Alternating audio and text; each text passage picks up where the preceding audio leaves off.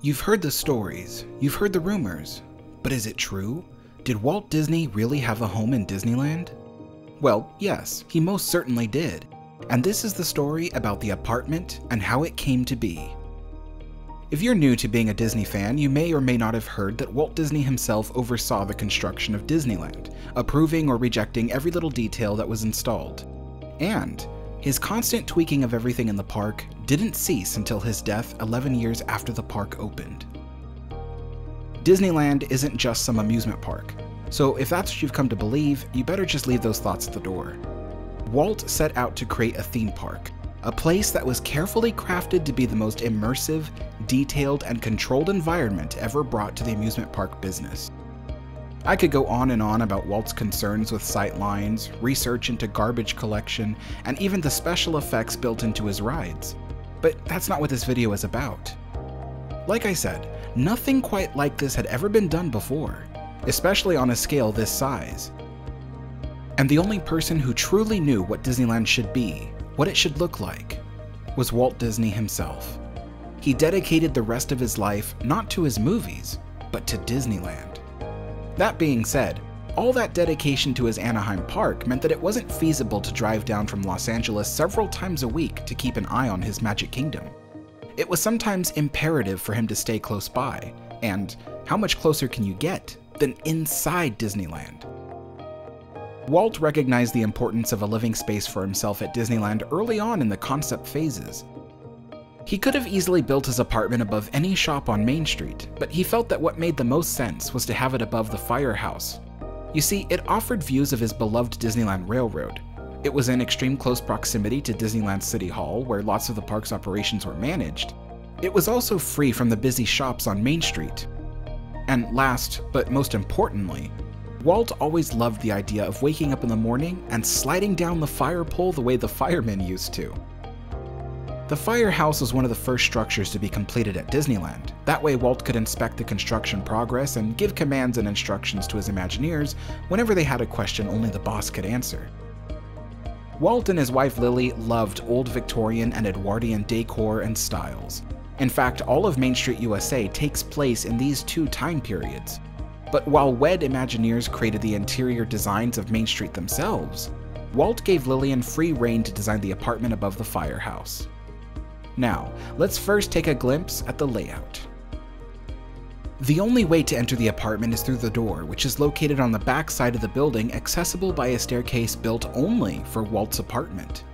The apartment has one closet, one vanity, one bathroom, one main living area, and an outdoor patio. Disneyland was built on a tight budget, and everything in the apartment had to be as minimalist as possible. Nothing more extravagant than a hotel room, the whole space is approximately 20 feet wide by 25 feet long, making it a 500 square foot space. Once inside the apartment, a short hallway leads you to the closet to your right. Once you pass the closet, you find yourself in the family room. You may notice the prevalence of a certain color, cranberry red, Mrs. Disney's favorite color. With the help of studio set designer Emile Kuri, Lillian designed and put together every detail of this apartment, and you'll see a lot of small touches to this room in particular, which makes it economical yet stylish. This room serves multiple purposes as the eating, sleeping, and lounging room. On the back wall is a small kitchenette with a mini fridge, a dish sink, and cabinetry for the wares. Food would have to be cooked in pots and pans over a portable hot plate, but Walt rarely cooked. Instead, you'll see there is a sandwich hot press.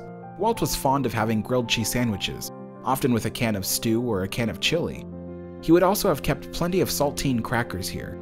And to wind down at the end of the day, there would have been a decanter of scotch on hand, so Walt could sit back with one of his favorite drinks, a black and white scotch. The whole kitchenette could be tucked out of sight thanks to a set of folding doors. You'll also notice by the hallway window is a chair, a mirror, and a hat rack. Walt often scrambled to find his coat and shoes in the morning, so Mrs. Disney made sure he had a place for both, and a nice chair with which to sit and put on his shoes, and a mirror so he could check his tie on the way out. I know that in the images I'm showing, the furniture is often arranged differently, but I'll get to that later. The room had two rocking chairs. Walt would sit in one of them, listening to his favorite tunes from an antique gramophone and smoking a cigar. Lillian could be found sitting in the other one, reading a magazine or book and sipping a cup of tea or coffee. Sitting against the south wall of the apartment is an authentic Regina music box. This one is the upright changer music box model. It is designed to play chimes and other melodies. You can see two very large, plush red couches. These are interesting because each one can pull out to be used as a full-size bed. And when I say they are pull-out couches, I mean that these didn't unfold. They were simply rolled out from underneath the cabinetry behind the couches. They are solid built beds. If family was visiting, this room could accommodate Walt and Lily on one bed and Roy and Edna on the other, and their grandkids would sleep on the floor in front of the kitchenette. You'll notice that some of the windows had very long curtains. They didn't exactly fit the length of the windows. The reason is because this apartment had low ceilings due to the fact that the building is designed in 5 8 scale. To make the apartment look a little taller, Lillian had curtains placed that were extra long to give the illusion of height. Today, this is a common practice among interior designers faced with low ceilings. Next, let's move on to the powder room.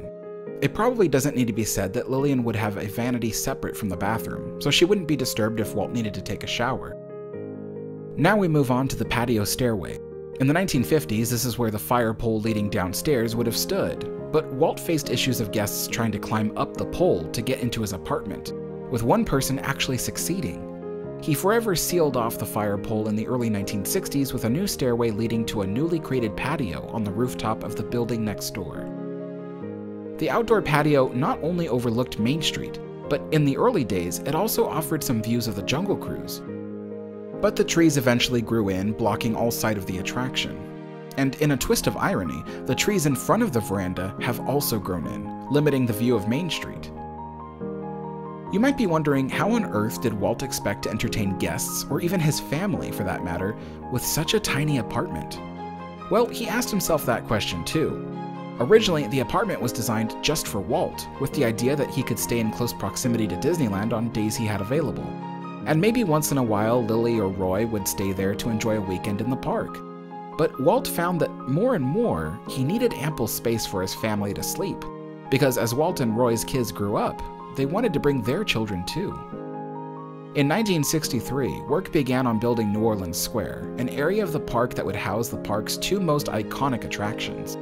Most of New Orleans Square was designed with space for upper floors, and Walt insisted on finding use for those spaces, so they didn't go to waste.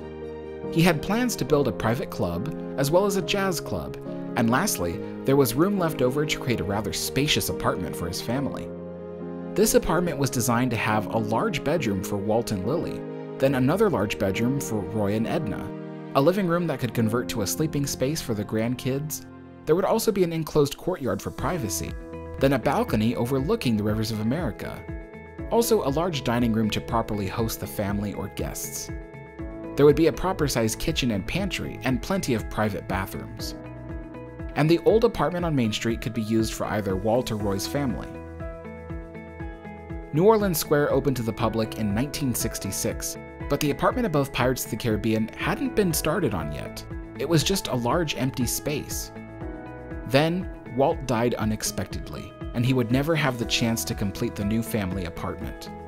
For a while, it was difficult for Lillian or even Roy to stay at the apartment on Main Street because it brought back the pain they felt from Walt's passing. The Disney family continued to use the firehouse apartment on occasion, mostly for the benefit of their grandkids. After the death of Walt's brother, company CEO Roy Oliver Disney, the use of the Main Street apartment became less frequent, and Lillian Disney began slowly removing items from it and placing them in storage. Eventually, the company made efforts to preserve the apartment by furnishing it with similar items it used to have, and it was offered more consistently on their guest relations tour schedule, now it remains a carefully maintained and preserved space in the park, available for viewing at a hefty price. The company likes to have its tour guides tell the guests that the apartment's belongings were left just as they were the day Walt Disney died. And you can see why. People then think that they're walking through a moment preserved in time, but that's not quite the truth. Much of the furniture and decorations are not original, They've also changed out the carpet a few times and had to reupholster the furniture due to aging. Also, as legend would have it, someone had plugged in the toaster and somehow created a fire, which was immediately put out by one of the overhead sprinklers. The sprinkler had caused water damage to the furniture, the walls, and the floors. Thankfully, the furniture was quickly restored, but other damaged features had to be changed out. As for the space above Pirates of the Caribbean, the Disney company ended up building a luxurious looking art store called the Disney Gallery, and it opened in 1987. I have fond memories of walking up there in the Disney Gallery. It was really a unique experience, especially being able to climb the stairs. The Disney Gallery remained up there until 2007 when Disney converted the space into the Dream Suite. The Dream Suite was meant to be a final realization of Walt's apartment, though all they had to go on were a few art renderings, but I'd say what they created must have been close to what Walt would have wanted. Walt and Lily's bedroom was designed to have two power outlets per wall, because it was said she liked to move furniture often and had difficulty plugging in lamps when the cords didn't reach the outlet. Roy and Edna's room became more of a generalized room, complete with models of Disneyland rides and features. The Dream Suite was available for a free stay to randomly chosen park guests during the Year of a Million Dreams celebration, lasting from 2007 until late 2009. After that, the Dream Suite was mostly abandoned, in late 2018, the Dream Suite was given a minor conversion into a new luxury restaurant called 21 Royal, named after the address for the entry on New Orleans Square's Royal Street. For a price tag of $15,000, you and 11 others can enjoy a meal in the apartment's private dining room, called the Blue Room, and then have access to explore the apartment. Walt's Firehouse apartment can still be accessed for a price cheaper than that, and while you're up there, you may notice a single lamp in the center window, burning bright all through the night. Whenever Walt stayed in the apartment, the cast would know he was there because at night, the light would remain on until he went to bed. Sometime after his death, a tradition began, one that meant leaving the light on day and night, all year, every year, to signify that even though the man is no longer around, his spirit of hope and imagination is still present forever burning bright for all those who come to this happy place.